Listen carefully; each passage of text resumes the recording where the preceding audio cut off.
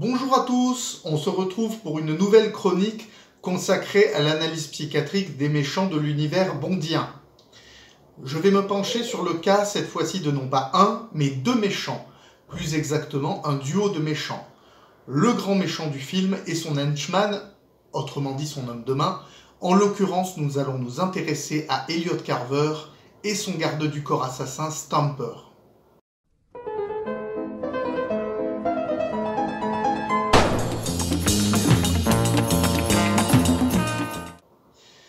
Vous allez comprendre pourquoi j'ai choisi de procéder ainsi. Déjà, les deux sont indissociables. La haute silhouette de Stamper semble suivre son chef partout, à tel point que les deux acteurs, Jonathan Price et God Soto, semblaient avoir noué une certaine complicité.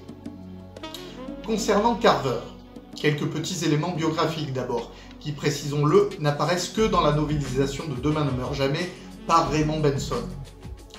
Elliot Carver est né à Hong Kong, fils illégitime d'un lord britannique qui possédait une douzaine de journaux et d'une prostituée allemande morte en couche. Elliot a été élevé par des Chinois car son père l'a abandonné à sa naissance. Elliot n'apprend la vérité sur ses parents qu'à l'âge de 21 ans. Il est engagé en tant que présentateur météo dans une chaîne de télévision hongkongaise.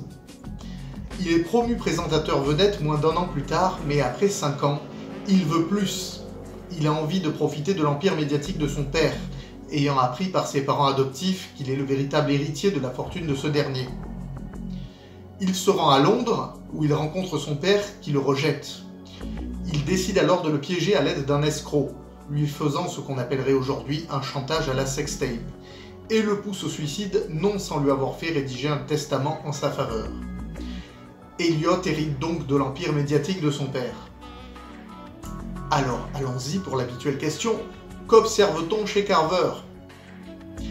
On observe au premier plan une mégalomanie considérable, qu'il assouvit par le biais de son pouvoir médiatique. Le besoin notamment de voir son portrait géant figurer sur les immeubles lui appartenant, ce qui occasionne à Bond cette réplique qui fait remarquer qu'il souffre d'un complexe d'édifice. La traduction française est malheureuse, Bond y parlant de complexe d'Oedipe, ce qui n'a rien à voir. Comme chacun le sait, le complexe d'Oedipe est l'amour frustré d'un enfant pour sa mère dans le cas d'un garçon, ou pour son père dans le cas d'une fille, et la mort souhaitée symboliquement de son rival, le père ou la mère. Nous traversons, si l'on en croit les théories psychanalytiques, tous ce passage, et ça ne nous conduit pas à devenir des mégalomanes.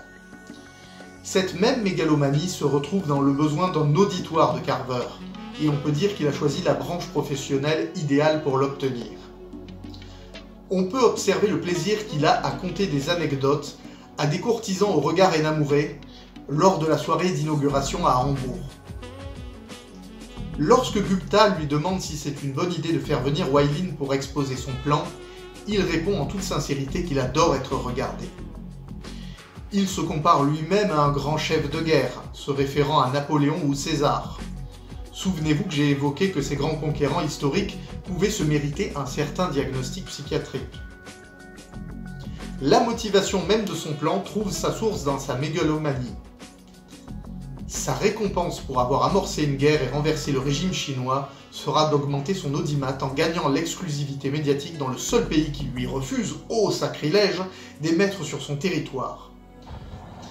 On observe une certaine labilité émotionnelle chez Carver, qui fait penser à un homme profondément instable. Il est tyrannique, colérique, pouvant renvoyer une employée sur un geste d'humeur ou tirer les cheveux d'un de ses hommes sur une frustration. Son sentiment de supériorité semble lui accorder le droit à ses yeux d'être directement violent physiquement envers son petit personnel, bien que de toute évidence lui ne soit pas fait pour le combat physique. Sa réaction surprenante à la tentative d'agression physique de Wailin à bord du navire furtif, alors qu'il la singe en gesticulant, va dans le sens de cette labilité émotionnelle. Il fait fou, non, à ce moment-là Carver a une haute opinion de lui-même et une faible opinion de la plupart de ceux qui l'entourent, qui semblent tous très remplaçables à ses yeux. Volontiers méprisant, il n'hésite pas à se montrer grossier et moqueur lorsque Bond lui est présenté en tant que banquier, ou à qualifier la démonstration d'arts martiaux de Wildin de pathétique. Le thème de la persécution et de la spoliation se retrouve facilement chez lui. Plus facilement si on se réfère à son background dans la novélisation et au sentiment d'injustice et au désir de vengeance vis-à-vis de son père. Ce background n'apparaît certes pas dans le film, et c'est assez dommage à mes yeux, mais on retrouve tout de même la rapidité avec laquelle le personnage peut se sentir persécuté ou trahi dans le film. Par son épouse d'abord, dont il semble sincèrement amoureux, mais qu'il condamne sans appel à mort lorsqu'il découvre qu'elle lui a menti. Sa colère lorsque son intervention télévisée est gâchée par Bond.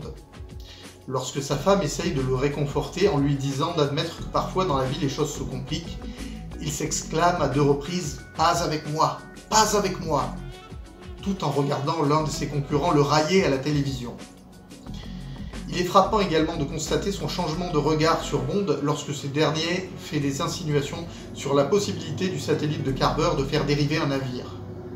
Il passe de stade de banquier ennuyeux à celui de persécuteur suspect en une fraction de seconde, et Carver ne traîne pas pour tenter de le neutraliser. Enfin, on peut observer que Carver est dans ce qu'on appelle le rationalisme morbide. Kezako, me direz-vous? Le rationalisme morbide est la façon qu'ont certains malades délirants de tenter de justifier ou de faire accepter leur délire comme quelque chose de normal ou d'acceptable par leur entourage. Selon Carver, tout ce qu'il fait est normal et rationnel. C'est le monde qui ne tourne pas rond, c'est son raisonnement qui est le bon. Déclencher une guerre pour faire de l'audimat est acceptable, puisque les grandes figures ont toujours manipulé les médias pour changer le cours des choses, et puisque William Randolph Hearst faisait de même. Il ne fait que procéder de la même manière. Et il n'est pas fou puisqu'il va être couronné de succès. Ce qui sépare la folie du génie ne se mesure qu'à l'aune du succès. Et lorsque Carver se présente à l'antenne en tenant un discours pacificateur et en s'attribuant un rôle d'informateur loyal et de dénonciateur d'injustice, si on peut d'abord croire à de la manipulation, on peut finalement se demander s'il ne croit pas un peu à ce qu'il dit malgré les moyens employés pour obtenir ce statut de bienfaiteur.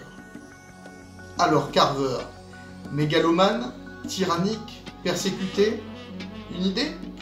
Nous avons là un superbe cas de personnalité paranoïaque, le deuxième depuis le début de cette chronique, même s'il se présente un peu différemment du Docteur No. Les éléments cliniques sont là. Je reviendrai la prochaine fois sur la différence entre une personnalité paranoïaque et une paranoïa réellement décompensée. Penchons-nous désormais sur l'âme damnée de Carver, autrement dit Stamper. Je ne m'attarderai pas sur ces éléments biographiques, ils n'apparaissent que chez Benson et ne sont pas d'une importance capitale pour l'analyse du personnage. Qu'observe-t-on chez lui? En premier lieu, le sadisme. C'est une évidence, Stamper est un tueur, et il aime son travail. Exécuter les marins du Devonshire à la mitraillette et filmer la scène, c'est pour lui une friandise. Et Carver l'utilise pour cette faculté, ce plaisir de, tuer. Il sait qu'il peut entièrement compter sur lui à ce sujet. On constate que Stamper est un tortionnaire aguerri, formé par le docteur Kaufman, rompu à l'utilisation des chakras pour infliger un maximum de douleur. Il semble considérer cela comme un sport. La consigne de Stamper à ses hommes pour s'occuper de Bond lors de la soirée de Hambourg est éloquente sur ce même sadisme, make him uncomfortable. En français, mettez-le terriblement mal à l'aise. La violence semble guider sa vie. Vraiment, Stamper est dans la pure tradition des assassins blonds inaugurés par Grant. Hans, Eric Kriegler, Necros, avec en plus cette stature particulièrement imposante et ses origines allemandes affichées gage d'efficacité pour Carver. On peut tout de même préciser que dans la novélisation, il est un peu plus crétin et surtout que son sadisme est assorti d'un masochisme assumé et d'une insensibilité à la douleur qui le conduit à considérer comme une récompense que Carver l'autorise à conserver un certain moment une lame plantée dans le corps. Cette idée semble avoir été abandonnée, peut-être parce que cela ressemblait trop aux caractéristiques de la henchwoman du film précédent, Xenia. Si je vous dis recherche de figures paternelles, ça vous rappelle des chroniques précédentes et un profil en particulier?